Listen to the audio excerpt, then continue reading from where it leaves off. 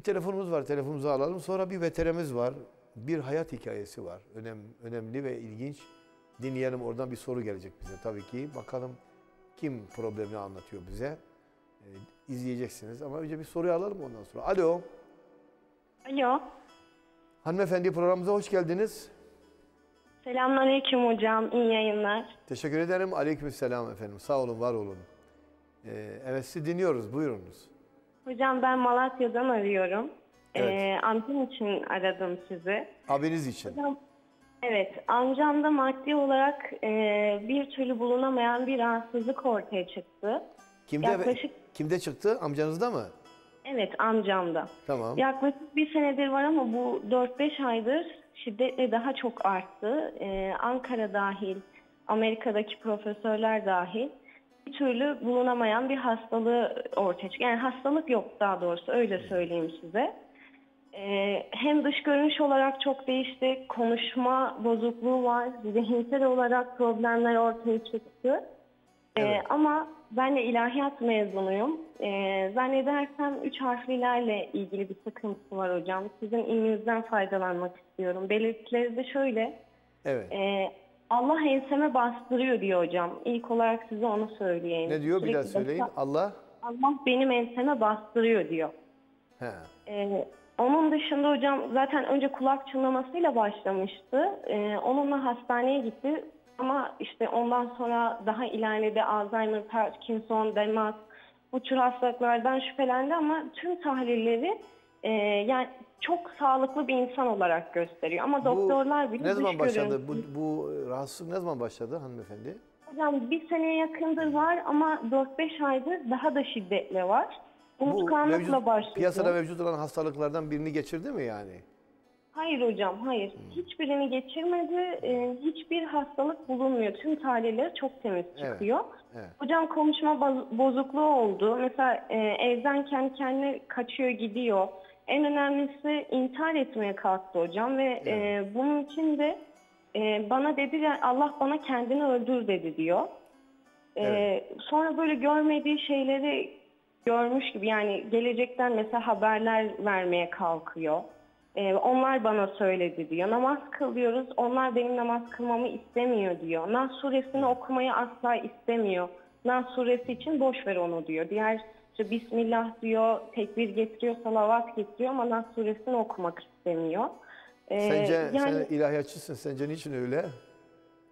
hocam bence Nas suresi zaten biliyoruz üç harfler üzerine e, kurulmuş muvazzete Değil mi? Ellezî yuvesvisu fî sudûrin nâs minel cinneti ven nâs. Değil mi yani? Aynen Sonra. öyle hocam. Ben de bu yüzden üç harfli musallatından şüpheliyim. Ama hocam e, şöyle söyleyeyim. Daha önce de böyle şeyler görmüştüm.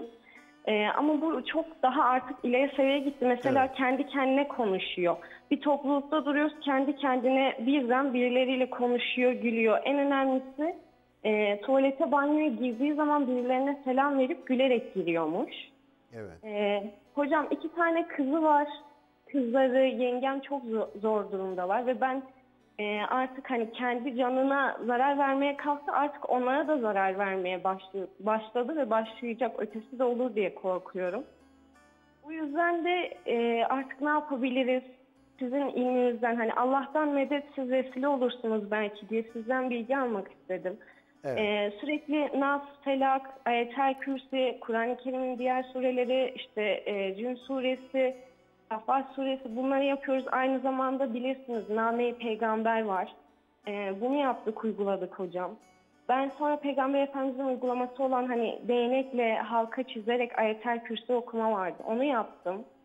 Ee, kendisinin gözleri dönüyor o sırada nefes alıp ve- vermesi değişiyor. Ee, kendini de duaları okutmak istediğim zaman özellikle Nas suresini okumak istemiyor dilim dönerek, dönüyor, dönmüyor diyerek. Peki e, sudan, aynadan korku falan bu tür şeyler var mı? Hocam korktuğunu söylemiyor. Yani mesela e, dün de birlikteydik. E, dedi ki size artık her şeyi anlatacağım. Bugün son dedi. Sonra anlatmaya işte Allah enseme bastırıyor diye anlatmaya başladı. Sonra böyle bir yere daldı.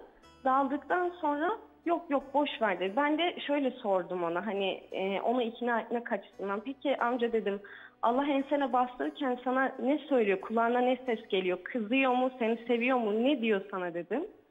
E, böyle uzunca bir yere daldı. Sonra da yok yok sen boş ver onları dedi. E, Tabii Allah kimsenin es- ensesine bastırmaz tabii ki. O öyle ona öyle öyle geliyordu biliyorsunuz. Bastıran evet. Şimdi evet. problem şu muhtemel yani e, öncelikle tabii ki doktorlara gitmişsiniz. Her türlü tahlili yaptırmışsınız. Evet. Muhtemel psikologlarla da görüştürmüşsünüzdür. Evet hocam. Evet, bunları bir e, göz ardı etmeyelim, bir kenara koyalım. Çünkü bunlar öncelikli olarak yapılması gereken şeyler. İşin tıbbi boyutu, e, bilimsel boyutu nedir, problemi nedir diye. E, bunlar bulunamayınca muhtemel, e, tabi biz e, bahsettiğiniz ve endişe ettiğiniz özellikle Felak ve Nas surelerine de hani işaret ettiğiniz şey şeyi gözden uzak tutmamak lazım. Cinlerin varlığını biz biliyoruz. Hazreti Peygamber'in Kur'an okuduğunda cinlerin Hazreti Peygamber'i dinlediklerini Kur'an-ı Kerim söylüyor. Kur'an-ı Kerim'de bunlara ait bir sure de var. Ama ayrı bir alemde onlar. Daha çok dağlarda, ova, ovalarda, mağaralarda yaşadıklarını biliyoruz onların. Tabii bizim e, dini e, inancımızda e, cinlerin de Müslümanı var, Müslüman olmayanı var. İnsanlarla pek irtibatları olmaz. Olağanüstü haller hariç olmak üzere. Bu böyledir demiyorum ben. Sadece bilgi anlamında söylüyorum. E, bu, bu yaratıkların varlığını, çünkü melekler var, cinler var, e, şeytanlar var, onların azgın olanları, insanlar var, hayvanlar var ve ruh var hepsinin yaratılışının temel dayanağı olan şey. E, yaratma tarzlarıdır bunlar. Yani Allah işte cinleri ateşten, ateşin değişik türevlerinden yaratıyor. Melekleri nurdan yaratıyor. İnsanoğlunu topraktan sonra spermden, yumurtadan yaratıyor. Yani Allah Salih peygamberin devesini dağı ikiye bölüp içinden sağ- sağlam deve çıkartıyor. Hazreti İsa'yı yaratırken Cenab-ı Allah babasız yaratıyor. Ee, Hazreti Zekeriya'nın çocuğunu 100 yaşından sonra veriyor Cenab-ı Allah.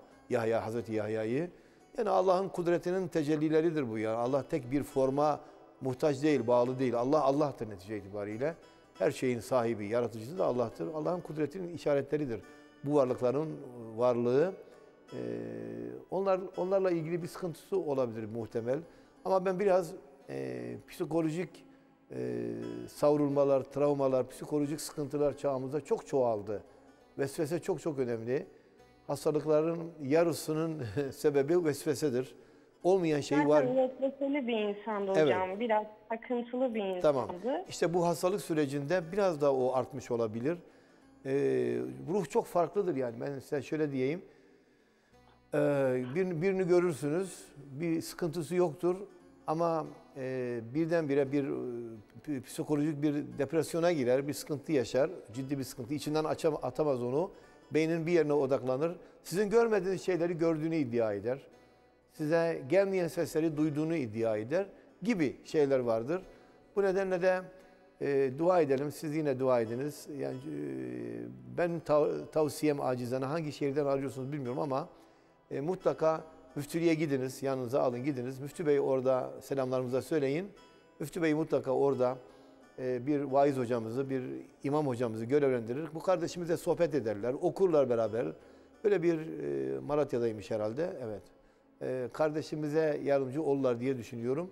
Biz ona dua edelim inşallah. Peki teşekkür ediyoruz. Kar- uzun konuşmak lazım, çok uzun konu- ama ben böyle özetiyle ifade ettim. Muhtemel psikolojik bir takıntı vardır, ee, ondan kurtulur. Bir hayat ATV kanalına abone olun, hiçbir şeyi kaçırmayın.